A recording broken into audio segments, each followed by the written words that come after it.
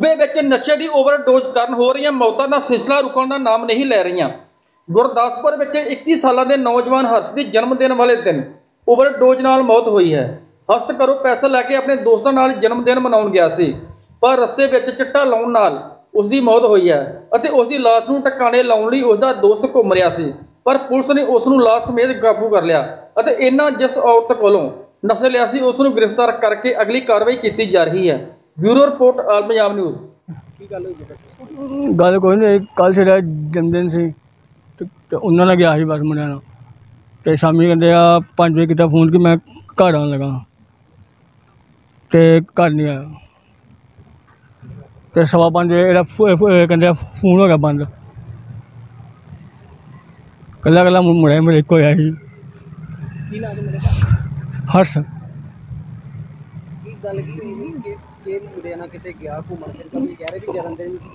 भाई जमदे थे कहने कहने कोई कोई खुंद को नहीं कोई उन्हें अपने खुंद कर ली मारता मैं हाँ जी भाई हाँ भाई की किता की नहीं किता मेरे मुंडे की सड़ा तक देखी कहीं फ़ोटो देखी भाई मैं कहीं राती सवा जाना बजे मैं पर्चा दर्ज कराया थाने मैं तो मेरी घर दी बिस्सी ने घर गया पौने के ਦੋ ਵਜੇ ਮੈਨੂੰ ਫੋਨ ਆ ਗਿਆ ਥਾਣੇ ਕਿ ਉੱਥੇ ਸਿਵਲ ਹਸਪਤਾਲ ਪਹੁੰਚੋ।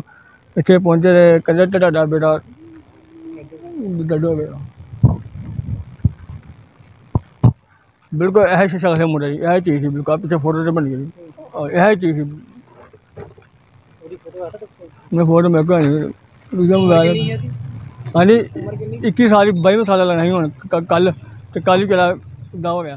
ਪਿਛਲੇ ਜੀ, ਸਾਡੇ ਵੱਲੋਂ ਮੁਕਦਮਾ ਨੰਬਰ 181 ਬਟਾ 22 ਥਾਣਾ ਸਿਟੀ ਵਿਖੇ ਦਰਜ ਕੀਤਾ ਗਿਆ, ਜਿਹਦੇ ਵਿੱਚ ਹਰਸ਼ ਕੁਮਾਰ, ਪੁੱਤਰ ਦਵਿੰਦਰ ਕੁਮਾਰ, ਜੋ ਕਿ ਵਾਸੀ ਨੰਗਲ ਕੋਟਲੀ ਮਹੱਲਾ ਰਹਿੰਦਾ ਸੀਗਾ, ਜਿਹਦਾ 8 ਤਰੀਕ ਨੂੰ ਬਰਥਡੇ ਸੀ ਜਿਸ ਨੇ ਆਪਣੇ ਘਰੋਂ ਬਰਥਡੇ ਵਾਸਤੇ ਪੈਸੇ ਮੰਗੇ ਆਪਣੇ ਮਦਰ ਕੋਲੋਂ, ਆਰਤੀ ਜੀ ਕੋਲੋਂ, ਪਰ ਉਹਨਾਂ ਨੇ ਕਿਹਾ ਵੀ ਪੈਸੇ ਨਹੀਂ ਦੇਣੇ ਇਹ ਪਹਿਲਾਂ ਵੀ ਥੋੜੇ ਮਹੀਨਾ ਕੁ ਪਹਿਲਾਂ ਹੀ ਆਪਣਾ ਨਸ਼ਾ ਛਡਾਊ ਕੇਂਦਰ ਤੋਂ ਘਰ ਆਇਆ ਸੀਗਾ ਜੀ।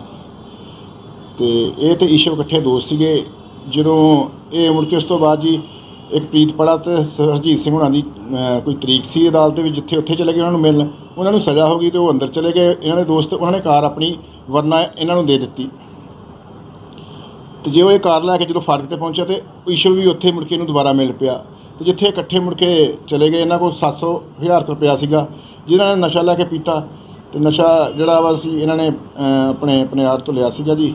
ਉਹ ਪ੍ਰਮਲਾ ਅਹ, ਨਾਮਕ ਇੱਕ ਲੇਡੀ ਆ ਉਹਦੇ ਕੋਲੋਂ ਵਾਈਫ ਆਫ ਅਸ਼ਵਨੀ। ਤੇ ਉਹਦੇ ਕੋਲ ਲੈ ਕੇ ਪੀਤਾ ਓਵਰਡੋਜ਼ ਦੇ ਕਾਰਨ ਮੁੜ ਕੇ ਦੀਨਾਨਗਰ ਸਾਈਡ ਚਲੇ ਗਏ। ਦੀਨਾਨਗਰ ਤੋਂ ਜਿੱਥੇ ਟੋਲ ਪਲਾਜ਼ਾ ਤੋਂ ਫਿਰ ਮੁੜ ਕੇ ਆਏ ਤੇ ਉੱਥੇ ਦਰਾਨੇ ਦੇ ਹੁਣੇ ਤਾਂ cause of death after postmortem report ਤੋਂ ਪਤਾ ਲੱਗਾ ਵੀ ਕੀ ਕਾਜ਼ ਆਫ ਡੈਥ ਕੀ ਹੈ। ਜਿਹੜਾ ਈਸ਼ਵਾ ਦੱਸ ਉਹਦੇ ਦੱਸਣ ਦੇ ਮੁਤਾਬਿਕ ਅਸੀਂ ਨਸ਼ਾ ਲਿਆ ਸੀ। ਇੰਜੈਕਟ ਕੀਤਾ ਜਾਂ ਕਿਦਾਂ? ਇਹਨਾਂ ਨੇ ਪੀਤਾ ਸੀ ਜਾਂ ਇੰਜੈਕਟ ਕੀਤਾ ਸੀ ਉਹ ਕਹਿ ਰਹੇ ਵੀ ਕੁਝ ਕਲੀਅਰ ਨਹੀਂ ਕਰ ਸੀ।